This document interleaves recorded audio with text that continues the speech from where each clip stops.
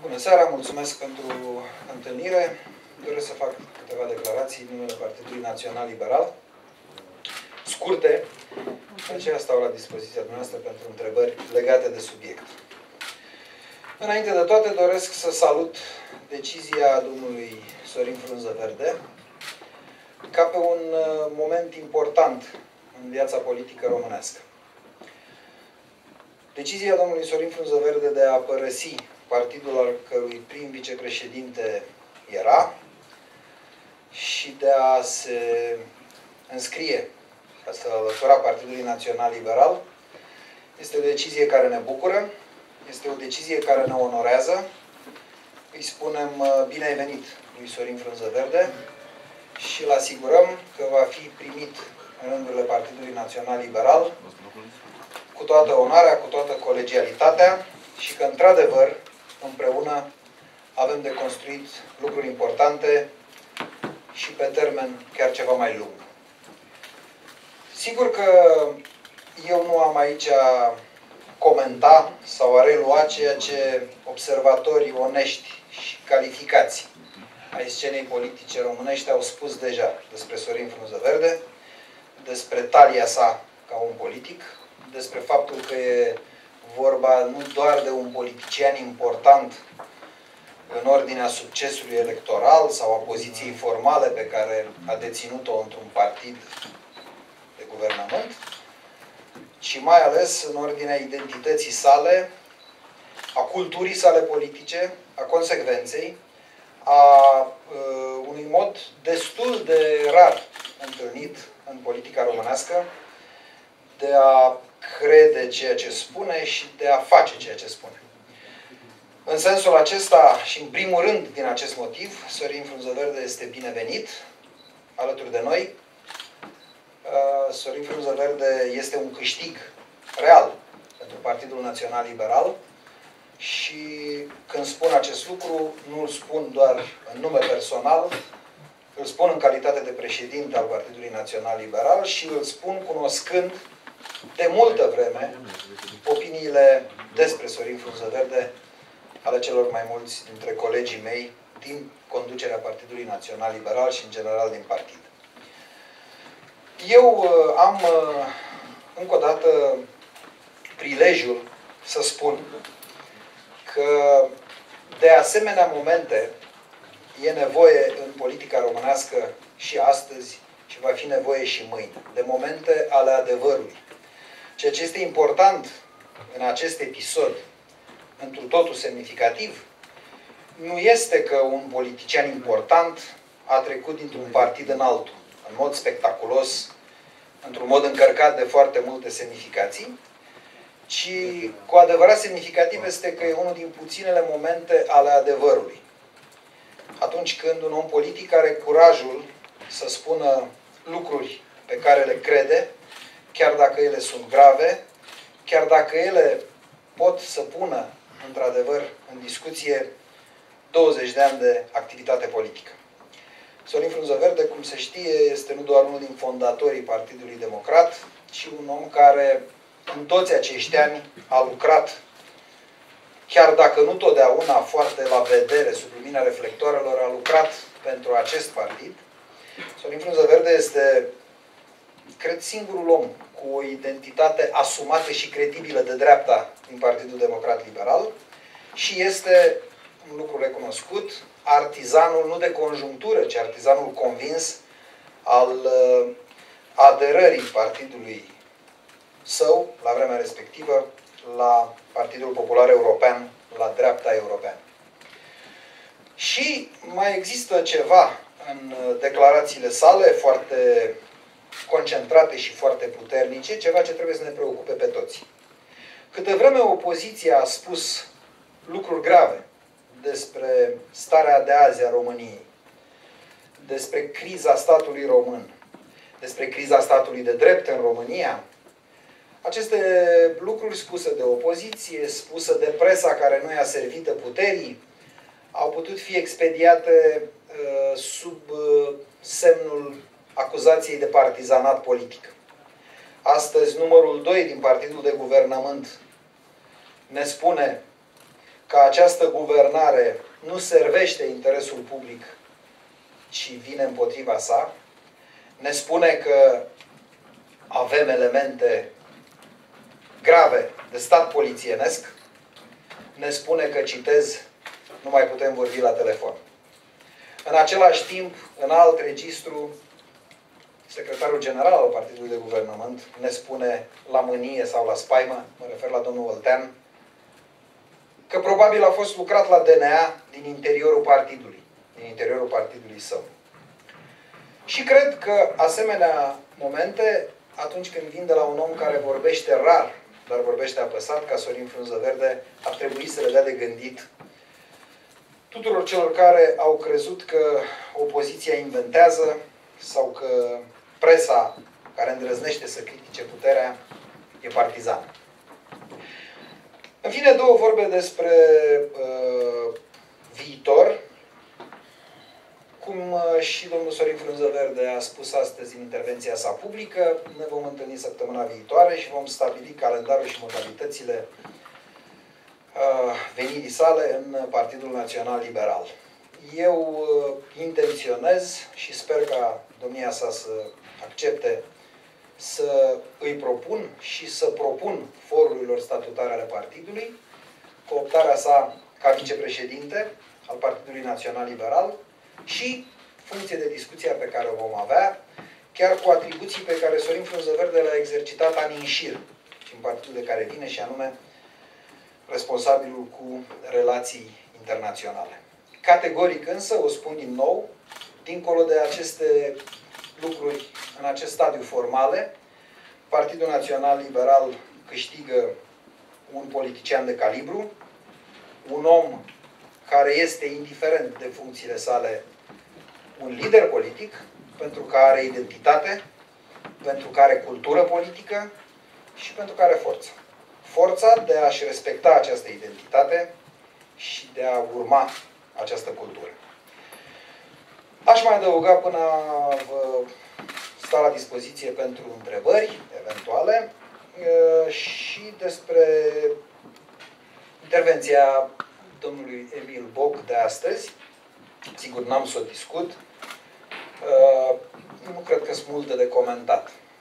Am văzut că cineva, Cristian Tudor Popescu, cred, îl compara cu propaganda nazistă, discursul de domnul Boc, propaganda nazistă din primăvara lui 1945 mă despart în evaluare de domnul Cristian Tudor Popescu. Cei care făceau încă în 1945, Hitler, Goebbels și alții, propaganda nazistă, au fost niște odioși, dar nu au fost niște caragioși. Domnul Boc seamănă cel mult cu acel ministru al propagandei lui Saddam Hussein, care aproape cu soldați americani în spate striga la CNN că americanii sunt puși pe fugă.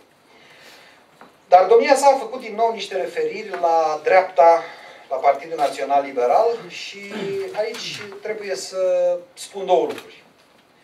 Unu, dacă domnul Emil Boc sau cineva ca domnul Emil Boc spune că Partidul Național Liberal nu e de dreapta sau că s-a predat PSD-ului și Sorin Frunză Verde, sau cineva ca Sorin Frunză Verde spune că vine în Partidul Național Liberal ca să continue sau ca să construiască un partid de dreapta, mie mi-e suficient. Nu mai e nimic de adăugat. Uh, în legătură cu predarea, nu pentru domnul Boc o spun, se repetă această lozincă. Domnul Boc azi a vorbit ceva mai rar, dar a spus aceleași lucruri ca și pe vremea când vorbea repede. Partidul Național Liberal a intrat într-o construcție care este o construcție de Uniune Națională. Este o construcție pe baze paritare cu Partidul Social Democrat, nu doar din punct de vedere aritmetic, pe baze paritare. Partidul Național Liberal își apără în continuare nedezmințit toate valorile și valorile de dreapta.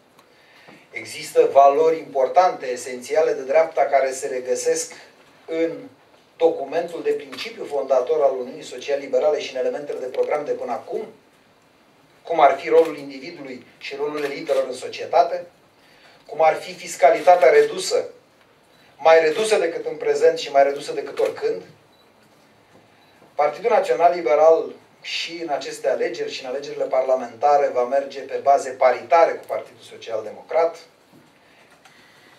Este posibil ca după congresele din 7 aprilie candidatul la președinție al acestei uniuni să fie un candidat liberal. Sunt lucruri certe, sunt lucruri care pentru orice om uh, dispus să examineze realitatea alungă definitiv ideea că Partidul Național Liberal s-ar fi predat cuiva sau că nu ar fi un uh, partid de dreapta. Nu cred că trebuie comentat mai mult despre vorbele unui om într-o situație neplăcută, care a fost aruncat de la Palatul Victoria ca ceva folosit, care nu știe câte zile mai are chiar în fruntea propriului partid și care, și atunci când era prim-ministru și acum cât mai este încă președintele acestui partid, nu a fost niciodată luat în serios nici într-una, nici în cealaltă dintre calități. Dacă sunt întrebări, vă rog să le puneți. Doamna președinte, Cristina Caliu, B1 TV, pentru că ați vorbit despre Emil Boc. El a amintit astăzi uh, despre plecarea lui Florin Frunzăvede, lui Sorin Frunzăvede la noastră în termen de traseism politic. Nu vă temeți că ar putea face același lucru, domnul Frunzăvede, în condițiile în care, să zicem, ar mai apărea pe scena politică o nouă formațiune de dreapta? Nu, nu mă tem. Nu mă tem pentru că Partidul Național Liberal și fără domnul Sorin Frunzăverde și cu domnul Sorin Frunzăverde și cu mine și fără mine este și va rămâne cel mai important și singurul partid de dreapta din România. În al doilea rând, pentru că acuzațiile nerușinate de traseism la adresa lui Sorin Frunzăverde nu stau nici cum în picioare și sunt scutit eu, care sigur sunt sub uh, bănuiala firească de partizanat, sunt scutit eu de explicații în legătură cu asta, pentru că le-au dat, repet, observatori onești și calificați ai vieții politice și ai fenomenul de traseism. Un om care a stat în opoziție, la putere, 21 de ani într-un partid, care justifică pe fond de ce pleacă din acel partid, care pleacă într-o formațiune din opoziție, nu poate fi nici măcar adus în discuție în legătură cu fenomenul de traseism. Sigur, trebuie să spun aici ceva ce domnul Sorin Frunzărele n-a spus. În uh, comparație cu buchetul de insulte pe care Emil Boc l-a debitat și la adresa domnului Sorin Frunzăverde, uh, priviți eleganța nesfârșită cu care Sorin Frunzăverde s-a referit la colegii săi, la fostul său partid, Uh, Sorin Frunză Verde știe ceea ce știu și eu, sau cred că știe, un lucru de care eu cel puțin sunt convins. Se discută acum despre situația de avarie a PD-ului și ce ar trebui să facă PD-ul, să-l dea jos pe box, să-l pună pe să pentru a se salva măcar pe termen mediu și lung. Ceea ce știe Sorin Frunză Verde, cu durere probabil, pentru că, repet, un partid pe care l-a înființat și în care am muncit.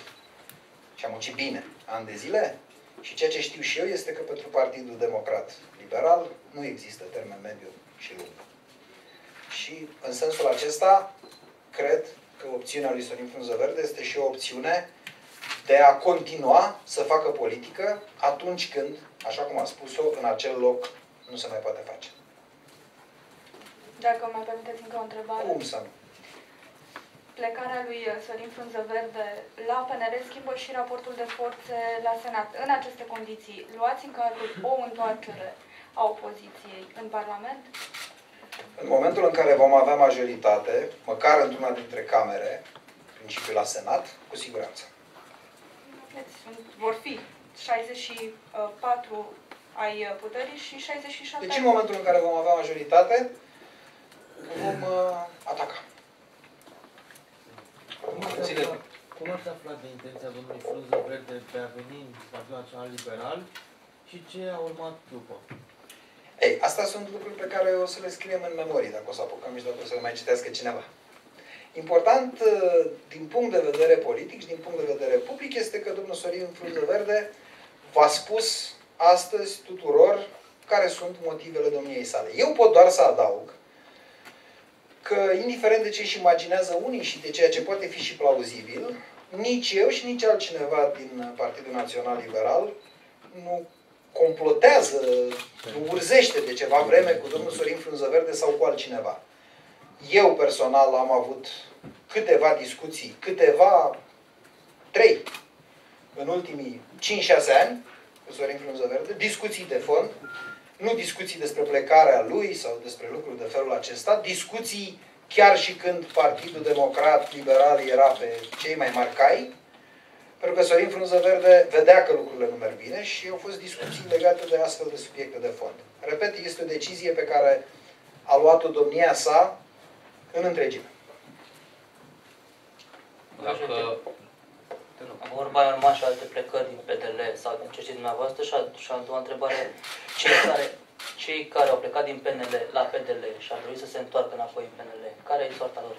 Sau ce mesaj le dați? La prima întrebare v-a răspuns domnul Emil Boc.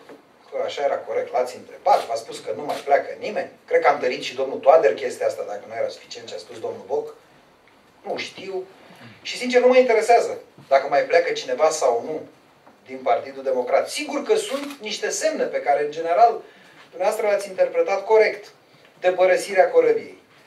Domnul Raduev Alexandru s-a dus la CNA. Domnul Albu, un om care de ani și ani de zile este, ca să spun așa, un personaj cheie în Partidul Democrat, e trezorierul sectei, sau a fost, ca să spun așa.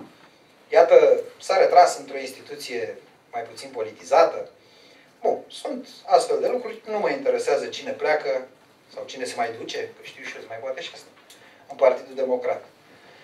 Uh, despre Sorin Frunză Verde vorbim astăzi pentru că e Sorin Frunză Verde. În legătură cu a doua întrebare, nu știu care este soarta oamenilor, pot doar să vă spun un lucru clar, ca să ilustrăm. Sunt onorat să fiu coleg cu Sorin Frunză Verde niciodată nu mă mai veți vedea coleg cu domnul Flutur, cu domnul Gheorghe Ștefan, cu domnul Florin Popescu. Deci în același partid noi nu mai putem fi. Da, da. Poate că vor veni și știu și eu, dar plec eu. Okay. Dar dacă vor fi alții, nu cei pe care i-ați numit, din PDL, care o să vină odată cu plecarea lui Frunze Verde sau după plecarea sa, vor avea loc în PNL?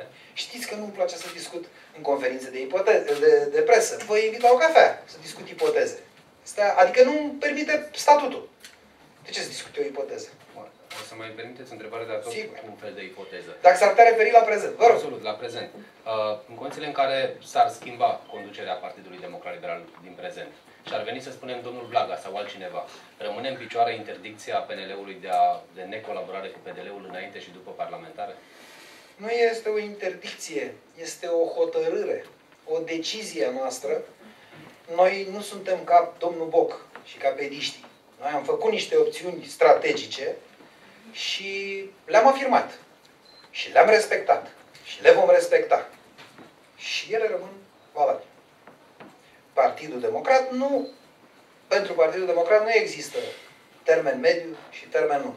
Și atunci, chiar să vrem, n-am avea de ce să colaborăm. Gata? Tudor Tomoș, Protără, dacă îmi permiteți o întrebare. Da. Astăzi la Reșița, domnul Sorin Frunze Verde preciza că o coaliție stânga-dreapta nu va rezista foarte multă vreme. Cum comentați? E un adevăr cât se poate de simplu și istoricește dovedit. Cred că în privința asta lucrurile sunt la fel foarte clare. Am mai spus-o, această construcție, în Uniunea Social-Liberală, care cuprinde un partid de stânga, Partidul Social Democrat. Și două partide de dreapta, centru-dreapta, Partidul Național Liberal și Partidul Conservator, este o construcție specială, este o construcție de Uniune Națională, practic, într-o situație specială, într-o Românie distrusă, într-un stat român ale cărui, instituție, ale cărui instituții sunt deja în disoluție, într-o țară pur și simplu cotropită și distrusă de către o forță politică irresponsabilă, coruptă, care înseamnă PDL și acoliții săi. Pentru această reconstrucție, pentru baze solide, pentru a contura căi majore de dezvoltare ale României pe termen mediu și poate chiar pe termen lung, avem un angajament, așa cum s-a întâmplat în țări ca Germania, de exemplu, o coaliție, mare coaliție stânga-dreapta, care, conform precedentelor istorice și, mă rog, conform unui firesc al pluralismului, durează în general un ciclu electoral. E foarte important ca acest ciclu să țină și n-am niciun fel de motiv să mă îndoiesc că Uniunea Social-Liberală va avea un ciclu întreg de guvernare, după cum este la fel de firesc ca ulterior spațiul politic să fie ocupat în concurență de partide sau partid de stânga și de dreapta. Important este ca împreună să putem construi și o vom face niște lucruri sănătoase și irreversibile care să nu mai fie schimbate de fiecare dată când se schimbă guvernarea. Sunt opțiuni, sunt diferențe politice, guvernează stânga, guvernează dreapta, după cum vor cetățenii. Dar lucruri fundamentale legate de statul de drept, legate de uh, instituțiile statului în general și de instituțiile democrației în particular, de coordonatele majore ale economiei românești, de politicile fundamentale în domeniul public, să poată fi stabilite printr-un angajament comun și al stângii și al dreptei. Și cred că acest lucru se poate face și cred că acest lucru va fi făcut. Dacă nu mai sunt întrebări, vă mulțumesc foarte mult!